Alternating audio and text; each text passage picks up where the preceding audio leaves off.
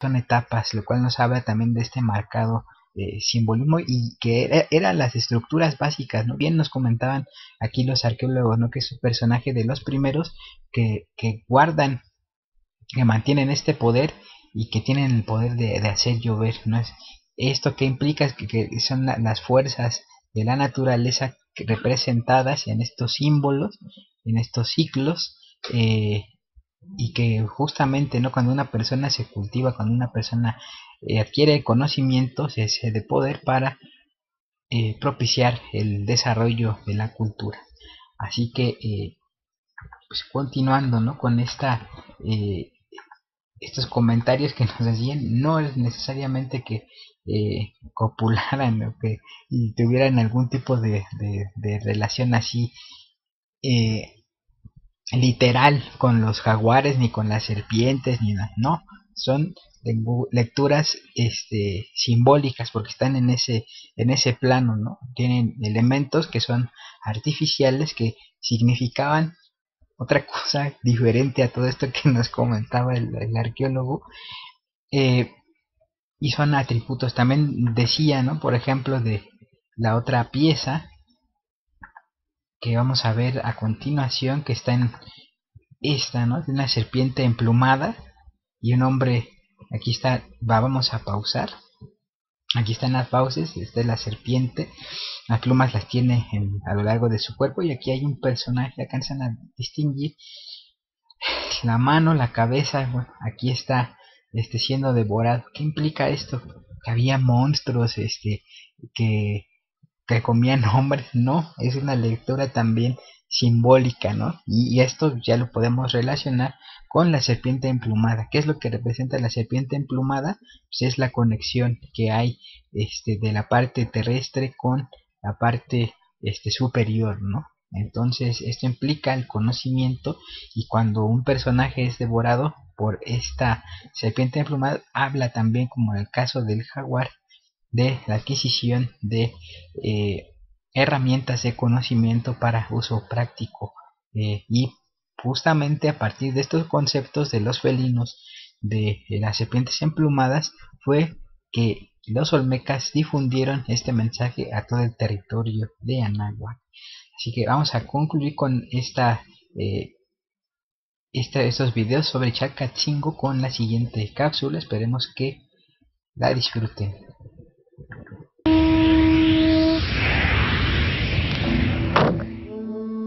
Otro, otro de los felinos sobre un, personaje humano. Aquí nada más tenemos parte de lo que sería la cara con un tocado y los brazos extendidos hacia atrás del, ser humano. Al parecer se trata de un puma que está dominando al hombre, pero aquí la posición del hombre es la parte hacia, hacia arriba y el felino está sobre de él.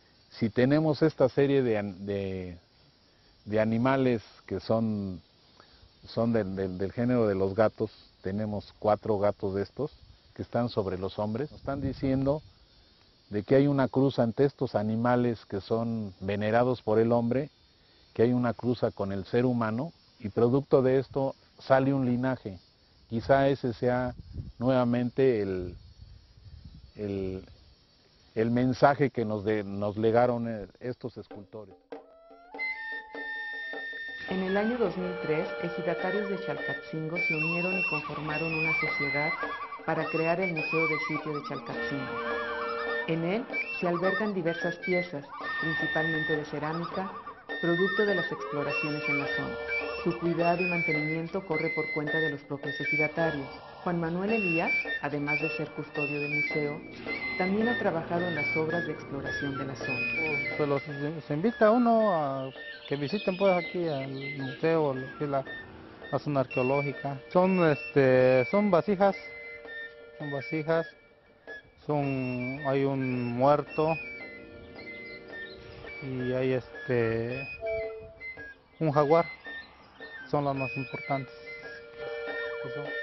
Al igual que en el resto de las zonas arqueológicas de todo el país, en Chalcatzingo aún falta mucho por explorar, investigar y estudiar.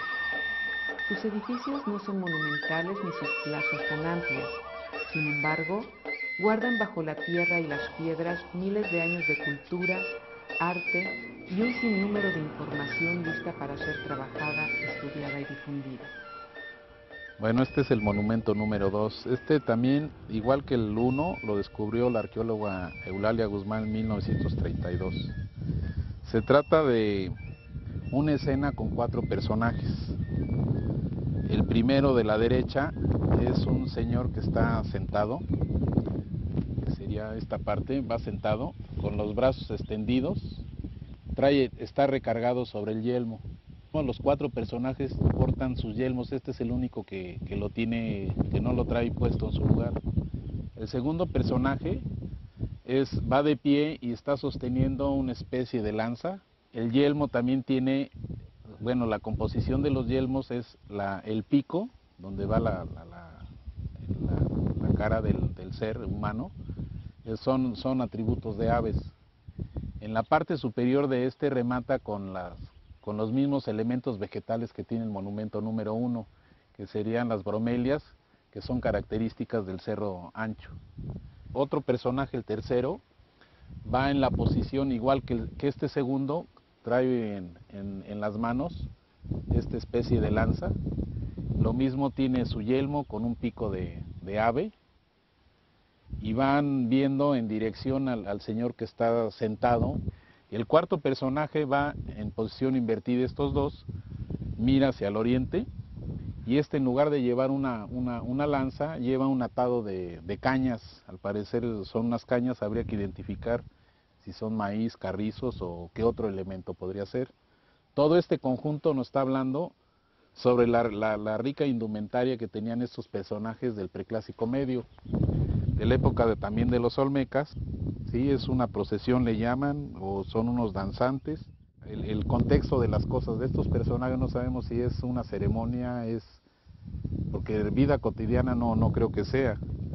Quizás esté más asociado a, una ceremonia de fertilidad, ya que el personaje que está acostado trae el, el, el falo erecto.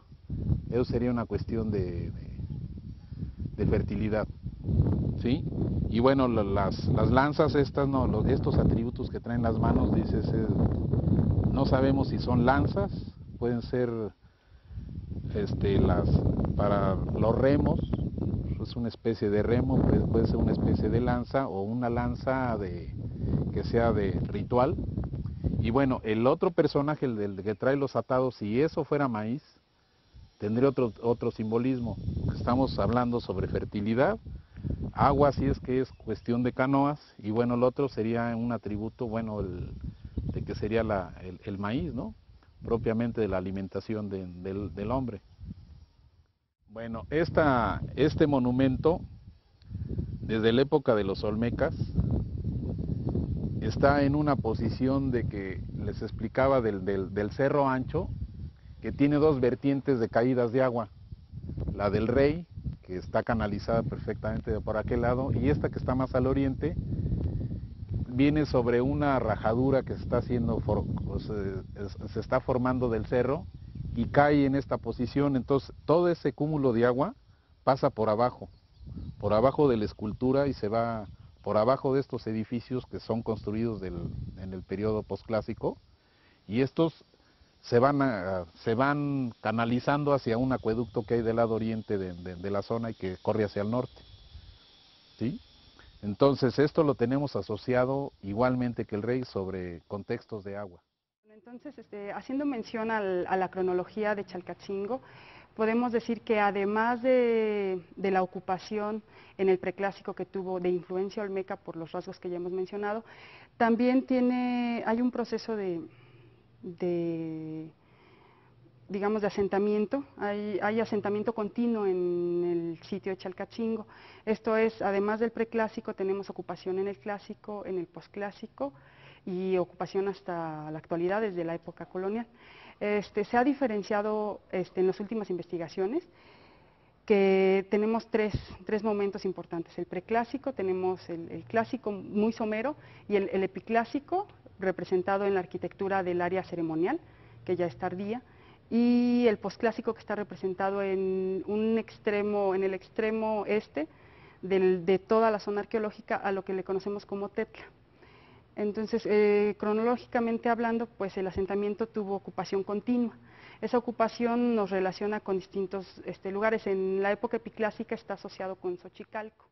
Entre estos dos cerros, el hombre supo aprovechar este medio, lo construyó, lo niveló, lo, hizo terrazas, hizo una, una ciudad inmensa desde el, desde el muy temprano, o sea, temprano estamos hablando de 800 antes de Cristo. Eh, dicen que para el, clásico tiene influencia teotihuacana, realmente no se ha identificado demasiada cerámica con ese, con ese estilo, pero sí se puede hablar de, de una influencia de, de, esa época por el tipo de arquitectura que tenemos en Chalcatzingo. Que hablemos también de que Chalcatzingo tiene una ocupación en la época colonial. Es, un asentamiento que se, fue, se consideró como un pueblo de indios. La importancia de estas esculturas en Chalcatzingo es de que de, tener unas aldeas muy sencillas donde se fabricaban a nivel plástico cuestiones como figurillas de mujeres embarazadas. De eso, a nivel plástico, de eso hay un gran salto para el 800 a.C., donde nos, nos, dejan estos códigos en piedra, donde nos hacen unas esculturas como las del rey, unas estelas y unos altares que vemos asociados a la arquitectura. Y entonces, eso es muy importante porque estamos viendo que hay gente que ya vivía aquí y llega gente con otros conocimientos y aquí se plasman. Lo que nos han legado en historia pues son esos 4.000 años, lo tenemos plasmado aquí, o sea, todas estas esculturas es, es, es sobresaliente lo que han dejado aquí.